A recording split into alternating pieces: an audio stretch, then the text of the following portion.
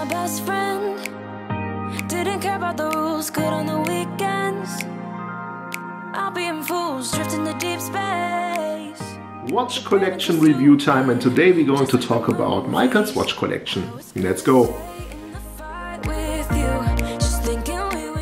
So let's discuss about Michael's first watch in his collection. Which one should we pick? I would say let's pick the the Davosa. Davosa GMT, it's actually an homage to the Batman GMT from Rolex, but with its own design clues. It's not a one-to-one copy, it's an homage. Yes, it does have, of course, the attributes of the Batman GMT included. Anyways, he's going to purchase, he, is go, like, he would like to purchase a GMT um, from Rolex, but as we all know, it's pretty hard to find, and I think as a substitute right now at the moment, it does a pretty good job. You do have the ceramic bezel in two colors, in blue and black.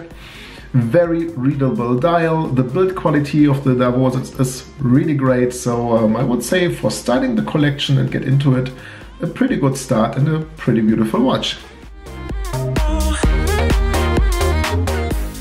His second watch in his collection is actually a Seiko, a Seiko chronograph, two-tone chronograph, I should say, with a steel gold bracelet, gold bezel, champagne colored dial, and I'm a two-tone fan, to be honest. I do like, do really like this 80s or 70s charm, the vintage look, and um, having a vintage Seiko in the collection, it's it's not a must, but it's something I do really like, um, especially in this form. Um, I do have myself the GMT Master in two-tone, never would like to miss it. I'm a child of the 80s, so the Seiko definitely is a stunner, adds very nice to the other pieces. And if you do count out his um, Casio chronograph, it's the only chronograph in his collection, and I think a pretty beautiful one.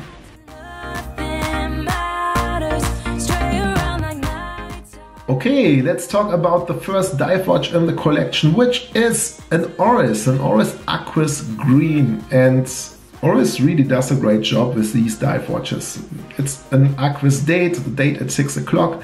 Nowadays, Oris is using um, Sellita SW200 movements, which is fine to me. They really do regulate them well. Well, I did own the Oris Aquis Staghorn and it was really good regulated and I think they did do also with this one a great job. I do have a couple of friends who do have an Oris watch in their collection or an Oris Aquis in their collection. Really unique design, its own design language um, Oris does use. It's classic from, on its own from my point of view, integrated bracelet really beautiful looking watch. I like the hint of green. I'm a fan of um, like different colors in the collection. I prefer myself to have like a black, a blue, a green, a white, a champagne color dial to have something changing there on the first glance. And I think this green does fit into the uh, rest of the collection and Oris does do a great job with these sunburst dials. I remember this from my Staghorn as well. It's really a beautiful made, a rich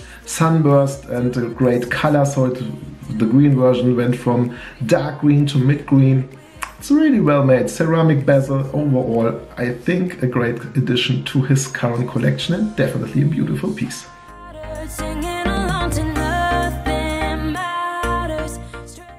So let's talk about his next two watches, starting with uh, Rado. And Rado is a pioneer because nowadays you do hear about uh, Hublot, about Omega, about Tudor, which all come out with ceramic cases. Rado did this first, and not just the cases, but as well the bracelets. So with Rado, you could get a mechanical watch or quartz watch with a ceramic bracelet, with a ceramic case, scratch resistance, with a sapphire crystal.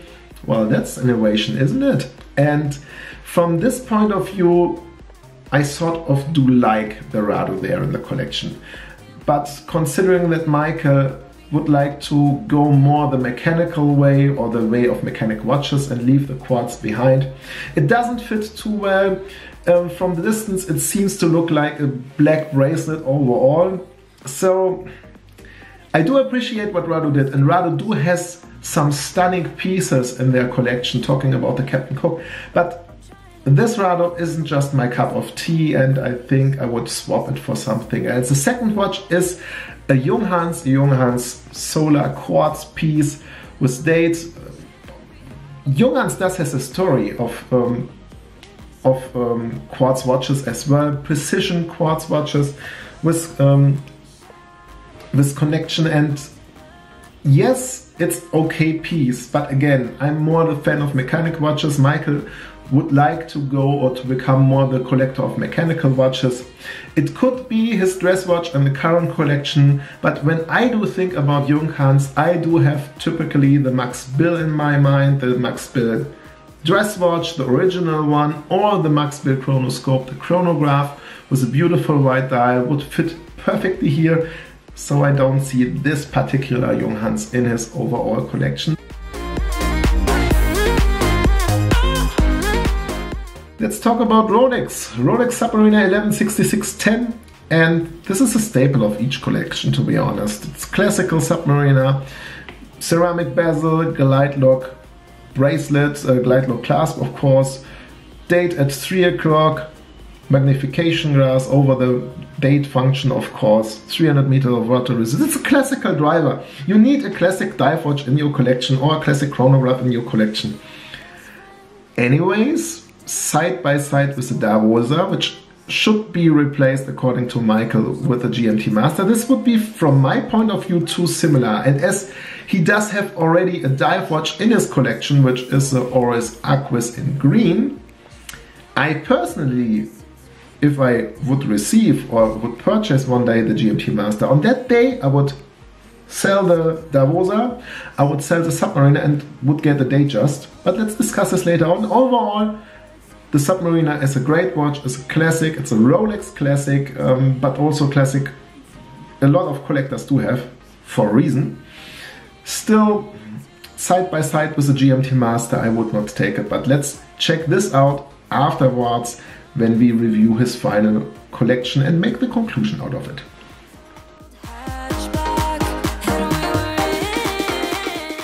Let's talk about his last watch, which is a Casio Edifice. It's on the one hand a cool watch because you can connect it with your smartphone. You have the Casio app there where you can get the informations, where you can change the date and so on. So this does has definitely this James Bond-ish um, charm to it. Still, I, I, I'm a mechanic guy. I do like mechanical watches, and to be honest, Michael is on the way to swap out all his um, quartz watches to mechanical ones.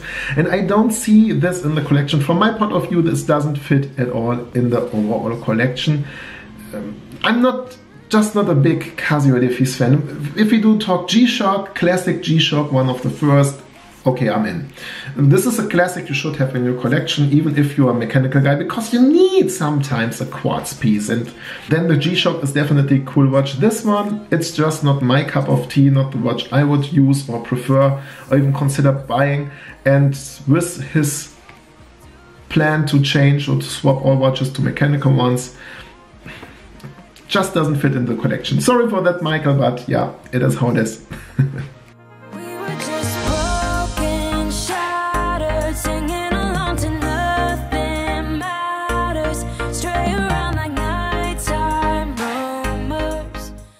Okay guys, what is the conclusion of this watch collection? Let's summarize it.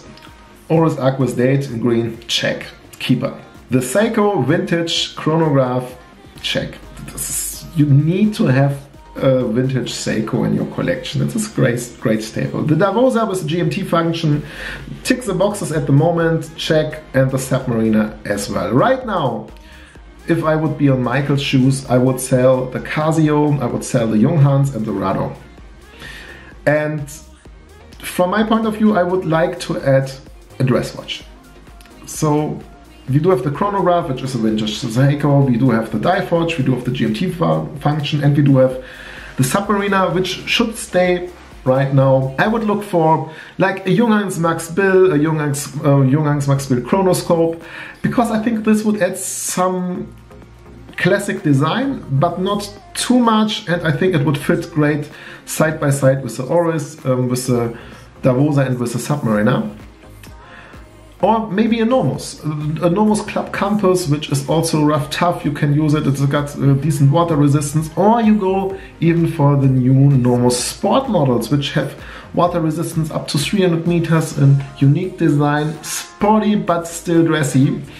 I think this could be a great direction. And if you're going to get finally a GMT Master, then I would use the GMT Master. You have already a diver, sell the Submariner, purchase an Oyster Perpetual or a Datejust, maybe a Skydweller. This could be also a nice idea.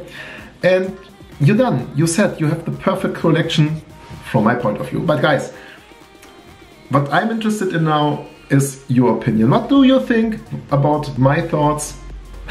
what do you think about my thoughts? But yeah, what is your opinion about the collection? What would you change right now? Do you think my recommendations are okay or would you recommend something else?